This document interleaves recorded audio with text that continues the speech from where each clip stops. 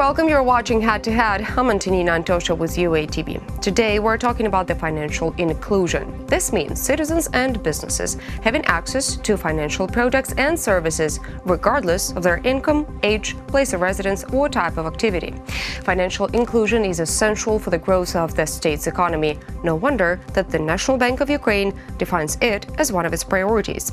Recently, a specialized forum on the financial inclusion was held here in Kiev. Now, to talk more about this forum, cryptocurrencies and perspectives of cashless society, we're joined in the studio today by Gabriel Söderberg, a financial stability expert.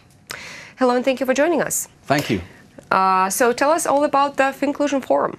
So the fin Finclusion Forum brings together experts from both the public and the private sector to discuss, uh, firstly, about financial inclusion in, in, a broad perspective and in different aspects of that, mm.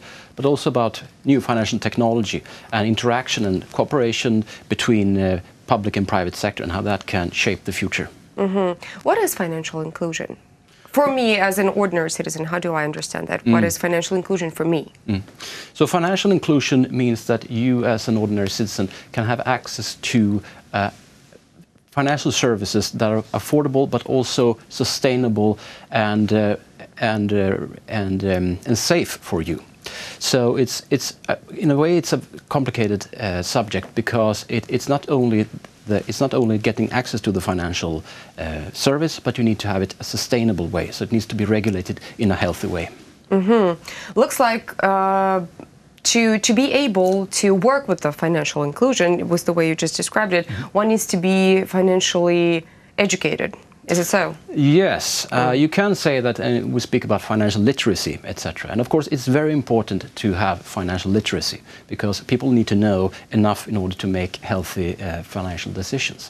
But you know, it's also it's also about having trust. Even how much you know, even if you know a lot about all the financial services that are out there, if you can't trust these financial services, if you don't trust the government, if you don't trust uh, the financial institutes, etc., you're not going to get very much out of it. So it's also about trust. Okay, so how does financial inclusion work in Sweden?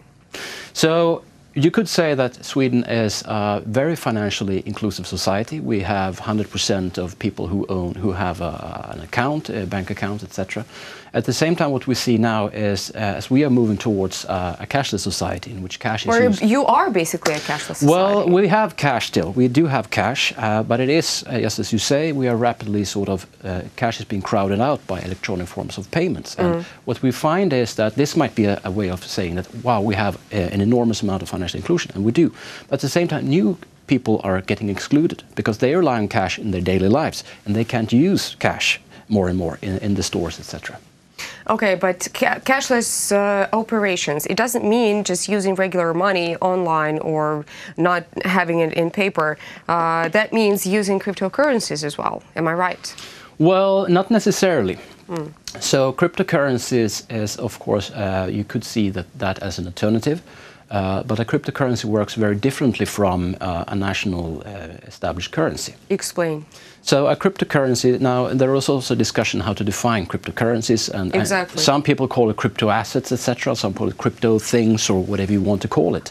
So, but let's let's call it cryptocurrencies for now, so to speak, so we, so we can have a conversation. Okay. Uh, so my way of uh, trying to define that is that cryptocurrencies are digital units that uh, can be transferred from one user uh, to another in a network using uh, cryptography. Mm -hmm. And if I find someone, for you for instance, who are willing to accept my unit, digital unit uh, in exchange for something else, then I can use that uh, for payments. But you cannot cash them to get the real paper cash. Well, you can sell them, of course, again, if you can find someone who is willing to pay you in an established national currency, you can mm -hmm. get mm-hmm. payment from, from them, of course. You can sell that. Okay, how many cryptocurrencies do exist now in the world? So it depends on how you define uh, cryptocurrencies, of course. Some people are now starting to discuss that we need to sort of uh, a more, uh, a more um, finely granulated nomenclature for these, that some coins are different from other coins, etc., perhaps called utility coins, etc. Mm -hmm. But it is true that if we sort of just amass all of them together, uh, there are around 1,600 today. Uh, last 1,600? Yes, 1,600, at last, last I checked at least. But it's increasing rapidly. It's increasing rapidly. Oh my, you just surprised me here ah, so I'm. I'm glad I surprised Uh, you. and is the blockchain system the only way of obtaining the cryptocurrency, or are they all different? In Well, in the typical sort of cryptocurrency, a blockchain is, is the most typical way of, of, Mm-hmm. of doing this. Uh, there are some which are experimenting with other forms of doing it. Like what? Uh, there is something called, uh, uh, there is, uh, I'm not entirely sure what they are using, but they are using other forms of it. So I'm not entirely sure what they are using. But Mm-hmm. I know that there is a discussion of go moving beyond the blockchain. what is what is ICO? So an ICO stands for initial coin offering, uh, and that which is a form of crowdfunding, which basically means that you open up, you have a project in which you want people to invest in. Um, in many ways, it's very much like an initial public offering when you have a you have a company and you want to sell stocks in that. So what you do is that you promise people if they pay, you're going to give them coins in your future for an established uh, digital currency. And uh, if you when you sort of launch your product, they will get that. Okay, uh, why is Bitcoin so popular?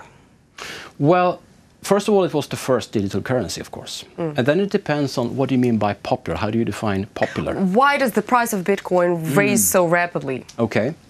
So first we need to look at why do people buy bitcoins? Okay, why do yeah, people buy why Bitcoins? do people? And what we see is that people buy them you know, in the hope that they, it will increase in value. So in many ways, they're not buying it in order to make payments. They're buying it and then keep them in order for it to see it rise in value. So they're not treating it as money. They're actually treating it as an investment. How high are the chances that all of this cryptocurrency market, let's call it this way, is just uh, one big bubble that's going to burst one of these days? Well, it's Like, always um, yeah. You know, like a tower, you know, that you build and then it falls apart. Yes. Um, so it's always difficult to sort of try to foresee the future, etc. Uh, and I'm always careful to, to do that. But certainly, what you need to be aware of is is to uh, discuss: uh, is it sustainable to have a very high continual price rises, etc. Mm-hmm. And in many ways, I think it's up to this comes back to financial literacy that we discussed earlier. Mm. Uh, it's we must have financial literacy in order to make people look at this and then say, is it sustainable? What are people waiting for? Mm-hmm. Why is it rising? Well, uh, That's my question exactly. Uh-huh. What are people waiting for while buying cryptocurrencies? Mm-hmm. Since there is no actual real chance to exchange it for real money and to buy real products like um, like regularly things like food, like you know to pay for transportation or to mm. pay your bills, mm. you know like an electric mm. bill or something like that. Maybe you can pay for some type of services, but you cannot exchange it into paper cash. So why are people buying it? So I think some people are uh, betting on that it will be established as a form of, uh, as a mainstream form of payments in the future. And that I think. Uh, at the same time, I think that a problem here is that if something increases in value, it actually undermines its potential to being established as a, as a currency in the future. Because why would you use, why would you buy something with a, with a currency that is increasing in value? It mu- mu- makes much more sense to just hold on to it, don't buy anything, and then sell it or buy something else when it's sort of risen in value. So it, there are possible problems here. Yes, I agree with that. Okay, which cryptocurrency would you recommend to invest in? Uh, I wouldn't dream of giving uh, investment advice, or especially not in such a risky area. So. Okay, so you're you don't see the promising signs of any of the cryptocurrencies Uh, not, at the not at the moment. I see that there are lots of uh, problems at the moment, challenges. Uh, for instance, the fluctuations in price that we, we've been seeing. Uh, we also have fluctuations in, uh, in transaction fees, for instance, in, in, in, in Bitcoin, for instance. Uh, in 2017, towards the end of the year, prices for making a transaction were around $60. Yeah. And why would you use that to buy a coffee? Cup, cup of coffee. Yeah, why? Uh, it's too expensive, etc. Uh, there are ways of there are uh, initiatives within the cryptocurrency community which tries to address some of these issues, but I think it's too soon to sort of say that this will be successful or not successful. We will see. But I think at the moment there are too many challenges to think that there will be a mainstream adoption in the near future. All right, but if we're not talking about just buying a simple cup of coffee, if we're buying about, if we're talking about bigger deals, like I know that there are countries out there and there are islands out there, like for example, St. Lucia, that has this second passport programs, uh, obtaining a second citizenship by investment programs. Okay. And what they offer is that you invest in uh, in the economy or in real estate, mm-hmm. and you can do it in cryptocurrencies and obtain a 2nd mm-hmm. citizenship and a second passport. Okay. Now, is that reliable? Well, I don't know anything about this uh, thing that you're telling me about, so I, I don't know very very much of it. So I don't know if it's re- reliable. But okay. I do know if you have a cryptocurrency, then of course, if you set a price, you say it. Uh, let's say it's this amount of crypto, uh, say bitcoins, mm-hmm. and then the value of the bitcoin fluctuates, etc. It will sort of make it problematic for you. So. I can't say much about this uh, individual uh, scheme. Case. No, unfortunately scheme. not. Oh, this is very Well, scheme doesn't have to be a bad word. It can okay. be uh, something like a plan. All right. Well, thank you so much. Thank you very much for, for having me here. For clarifying the, the whole situation with cryptocurrencies. Thank you very much. Uh, that was Gabriel Söderberg. He's a financial stability expert. Thank you so much for watching. Stay tuned with UATV for more.